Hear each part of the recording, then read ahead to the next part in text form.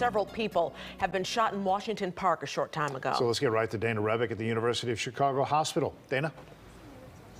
Well, this happened just about an hour ago now in Washington Park on the north end. We know that multiple people have been transported here to the University of Chicago Hospital. Here is some video from just a bit ago at the scene. Our crew there described police looking for evidence, shell casings in a grassy area, again on the north end of Washington Park. This is close to Dyett High School at 51st and Champlain. The Chicago Fire Department confirms they transported four people three men, and one woman who were shot. But the Chicago Police Department says at this time they are still working to determine the exact number of victims and are gathering more information.